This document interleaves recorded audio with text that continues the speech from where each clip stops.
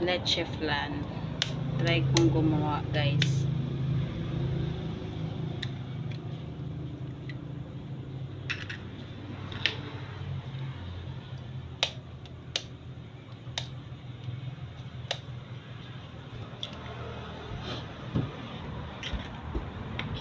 Dito silong.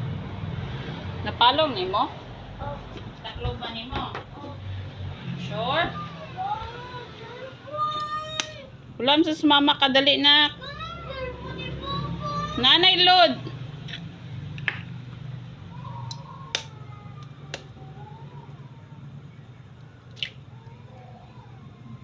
Yan. Then next here.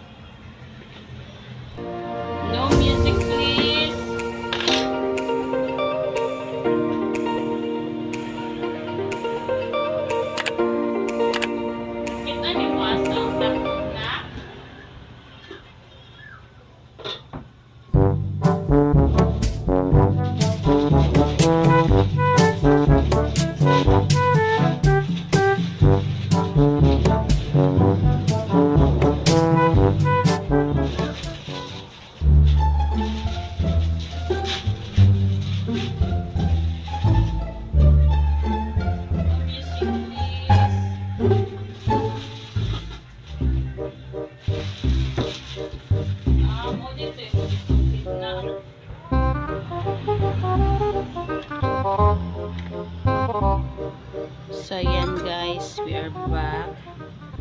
Lalagay na natin